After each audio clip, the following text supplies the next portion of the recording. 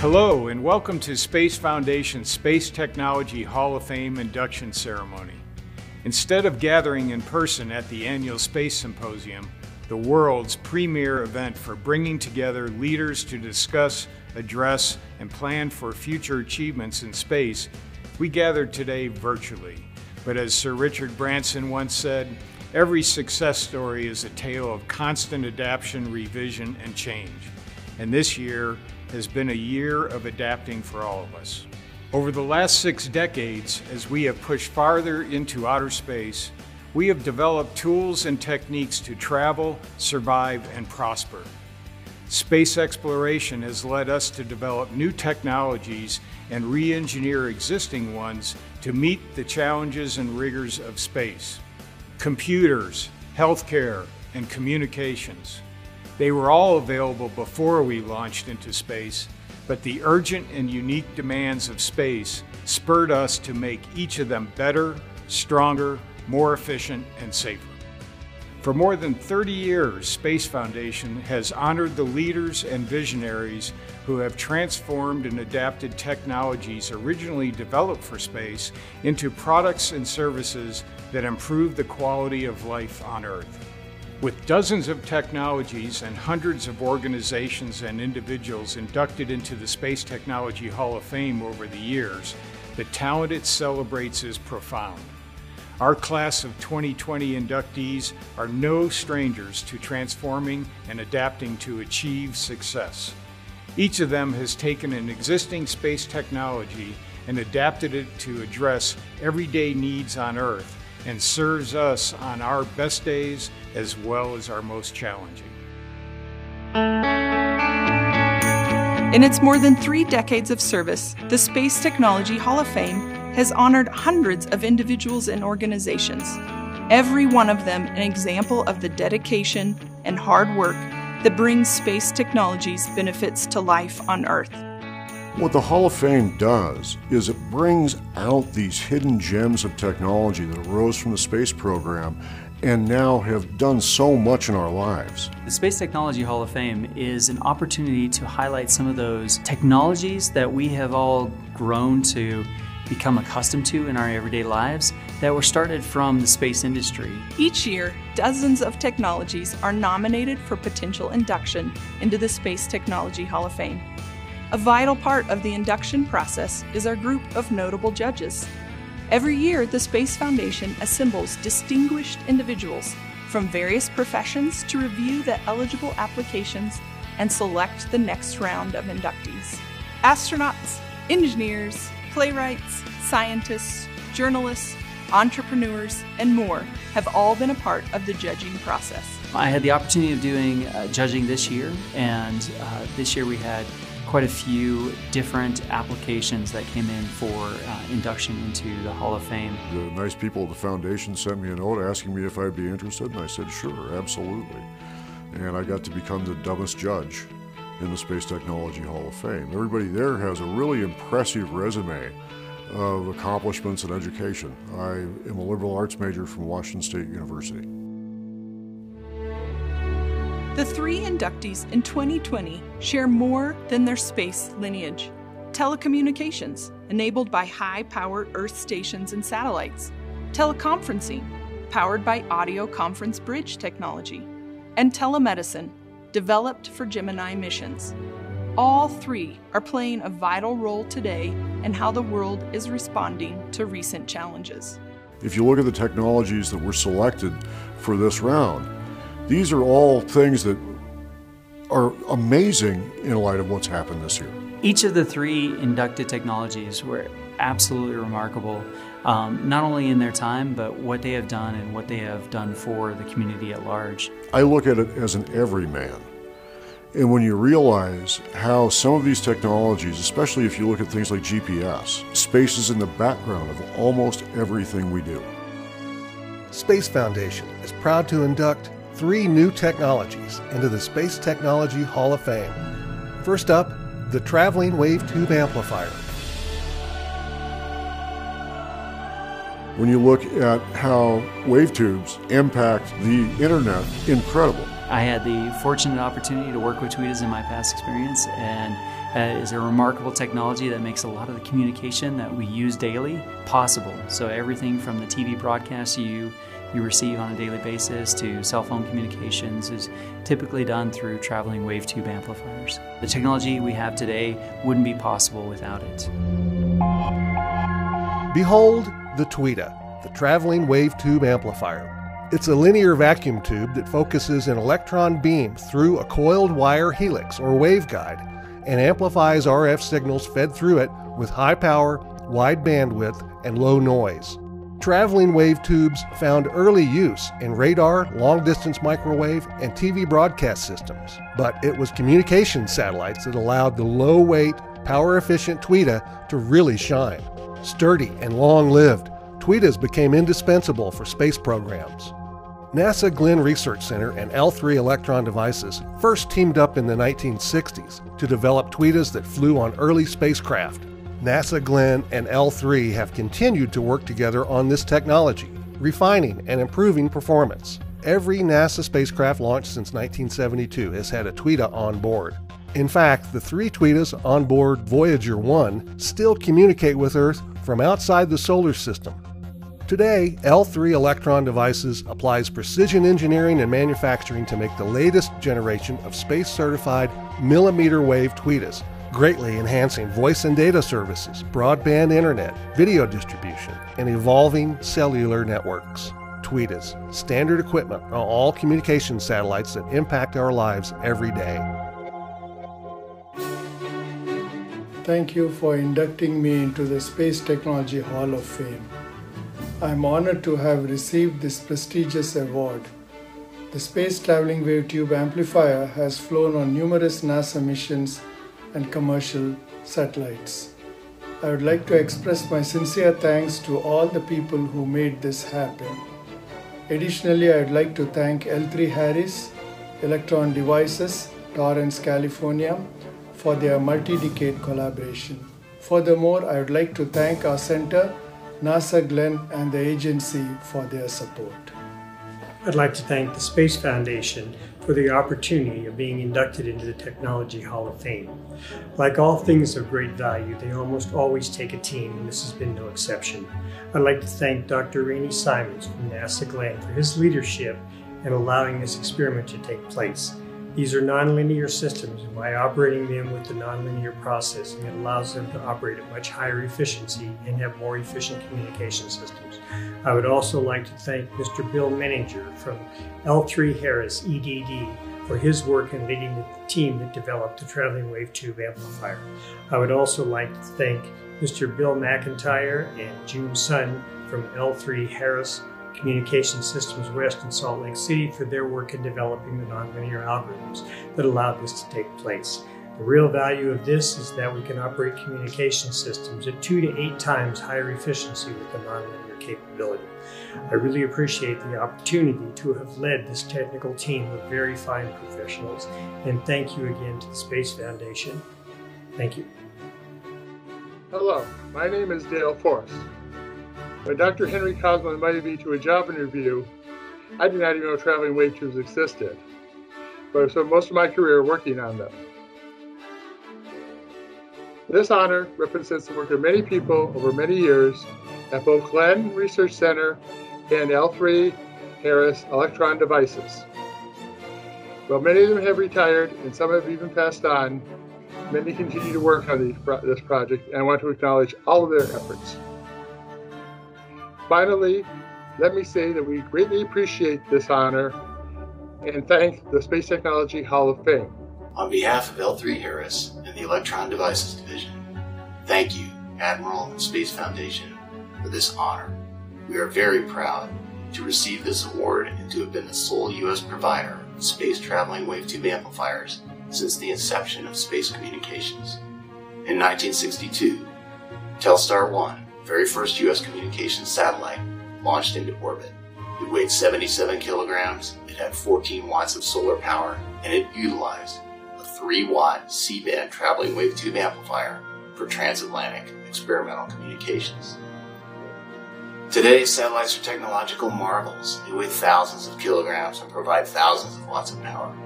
Our space traveling wave tube amplifier has evolved along with them and for 58 years has provided unbeatable RF performance and reliability, as evidenced by the over 10,000 traveling wave tube amplifiers in orbit today, with an accumulated operating time of over 1 billion hours. These devices for 50 years have truly connected the globe with essential communication services. So thank you for believing, along with all of us at L3 Harris, that our technology is an appropriate choice for this award. Thank you to Rainee Simons, Kara Barbrick, Deborah Good, and Scott Walker for helping us with our application process. And thank you again for this prestigious award.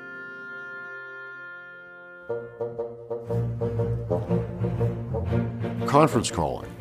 Never used to do it. Now I'm on a conference call I don't know how many times a day. Teleconferencing now, um, more than ever, is vital to everything we do. It started off as a space application so that we could talk to folks in remote locations and then also bring expertise from all over the world. That need has helped us get through this time when we can't be close together and get that face to face that we used to have cables, patch panels, plugs, connectors, more cables, all standard equipment for voice communication in the 20th century. This technology was the backbone of NASA's global communications network into the 1980s. It was manually intensive with a limited scope. In 1987, NASA Goddard Space Flight Center was searching for a better way, and a small contract services technology provider called Compunetics responded to a request for a digital upgrade to the NASA system. Dr. Giorgio Coraluppi, founder of Compunetics, had the solution, and his patented non-blocking switching system beat the offers from AT&T and other major telecom providers. Compunetics and NASA developed new digital audio bridge systems that enabled software-based switching and grouping of calls from multiple destinations around the world. By 1992, the new digital 4000 port system had been installed and was used system-wide at NASA. The digital audio system developed for NASA and patented by Compunetics became the basis for a new commercial teleconferencing product in the newly deregulated telecom market. Today, that commercial product is used by nearly every audio conference provider. Now, in its fifth generation, the Compunetics Audio Bridge system is somewhere in the background of almost every teleconference call. It's technology, born from the needs of space exploration, that keeps us all closer and in touch in a changing world. We want to express our gratitude to the Space Foundation for their recognition of our audio conferencing technology, which was originally developed for NASA 30 years ago. This technology became the foundation and the basis for the products and services Compunetics offers to this day. Today, in every continent, most of the countries have audio, video, and data conferencing facilities produced by Compunetics. It is a great honor and privilege to be inducted into the Space Technology Hall of Fame. Over the past years, Compunetics has been engaged in providing solutions for bold, complex information processing projects.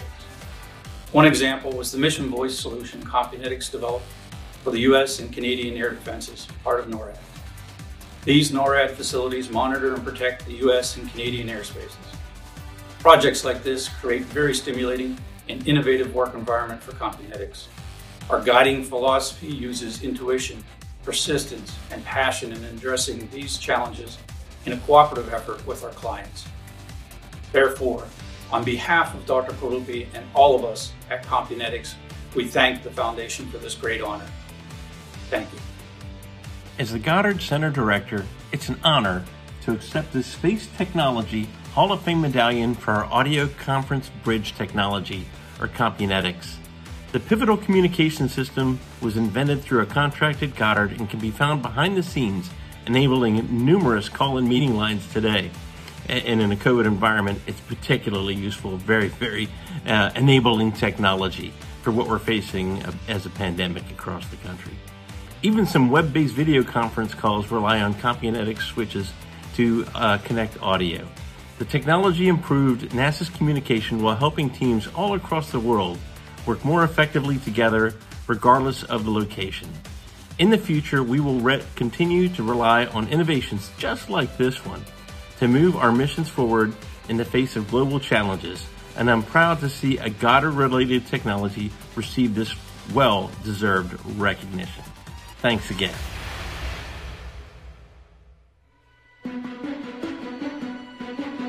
When you look at the ability to remotely monitor patients. What a big role that has played in saving lives just in, in the past six months. We can take expertise in one location and distribute that expertise across the globe.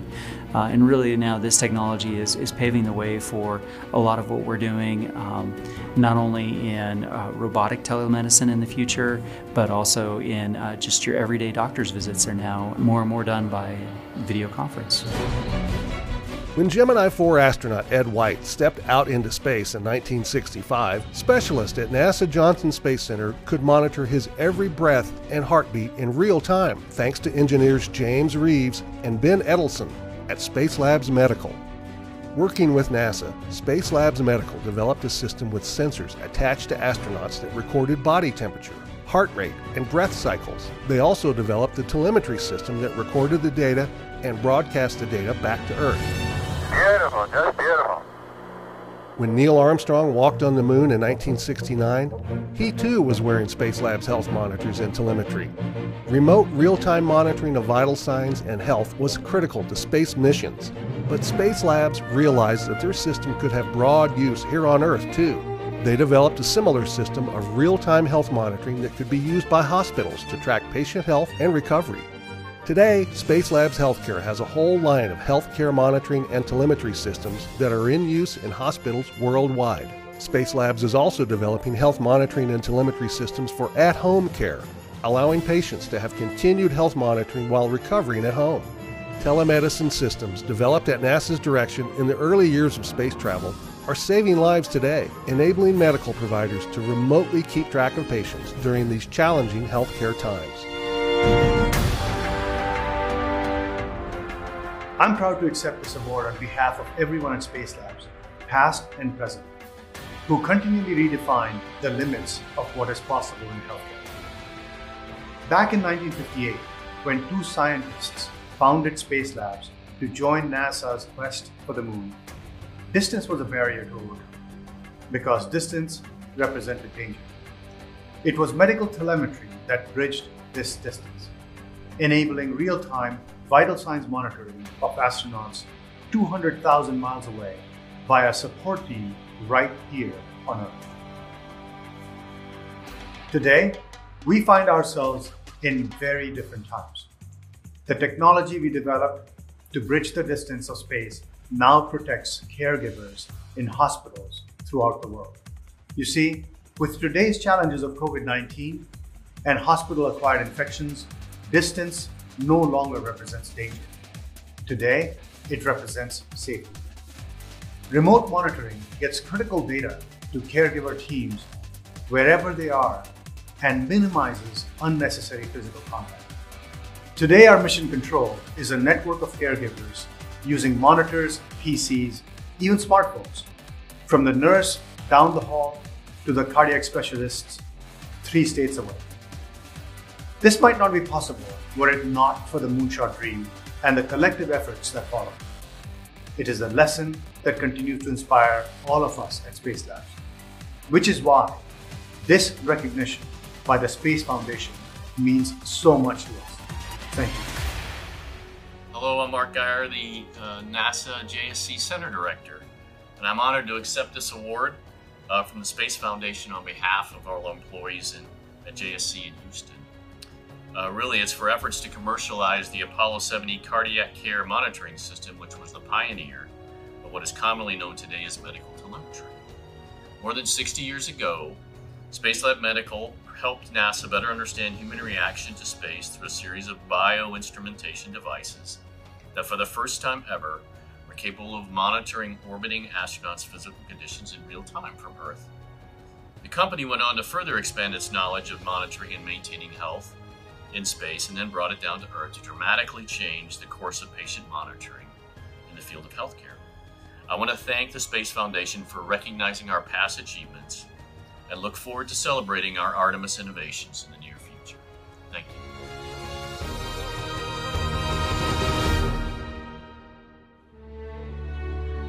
I think these nominees as a whole really demonstrated to me what a big role space plays in our lives. And the ones that were selected are just mind boggling how they impact us every day. It, it's quite remarkable to see some of these unique niche technologies and then realize how big of an application uh, they have within the greater context of society now. Uh, and it all started with the space industry. These are technologies that we recognize that arose from NASA programs that have become such an important part of our life, and we couldn't have picked better in light of what's happened this year. Telemedicine, teleconferencing, and telecommunications all are vital to the world's security, commerce, and connectivity, and they are at the core of the three technologies being inducted this year. They stand as prime examples of how space technology improves life for everyone. Congratulations and welcome to the elite group of awardees that have helped all of mankind. Buenos dias. This is Dr. Jose Moy. I would just like to tell all of the inductees for this year's Space Technology Hall of Fame, congratulations. Your technologies and your innovations are changing humanity. You've been able to take technology that was utilized for space exploration and evolve it for terrestrial use for the betterment of all. Thank you so much for everything that you're doing and continue to innovate. My name is Erin Macdonald. I'm an astrophysicist and the science consultant for the Star Trek universe. I was also one of the judges this year for the Space Technology Hall of Fame. Now, this isn't quite the celebration that we were hoping for, but I definitely want to send my congratulations to all of the inductees. Thank you for your contributions. Thank you for the advancement of technology and the continuing benefit to humanity. Congratulations again. I just want to take this opportunity to congratulate every one of the inductees into the Space Technology Hall of Fame for 2020. I know this hasn't been an easy year for any of us, and definitely a challenging time for so many people, both in technology and business. So, to all the inductees for 2020, I know it's a tough year. Keep innovating because you are the ones who change the world and make our lives better and easier. Congratulations. I'd like to congratulate them for not only the remarkable accomplishments they did in their time uh, developing this technology, but also, you know, just like to point out the incredible advancements that they've done to society at large. On behalf of the Space Foundation and of the judges, what a privilege it was to look at every one of these entries. We're really sad that we can't be with these people in person. I, I for one, would probably get a lot smarter if I could spend the night with you folks. But uh, one of the most amazing things that this made obvious to me is how many people are working so hard every day to make all of our lives better. Everyone who's involved in this process deserves our thanks. Congratulations again to this year's inductees into the Space Technology Hall of Fame. All of us at Space Foundation are proud to honor you and recognize your efforts to make the rewards of space for everyone. Innovative technologies such as yours offer inspiration and direction to transform the most ambitious of missions into tangible benefits that touch every community and continent. That is something we will always celebrate.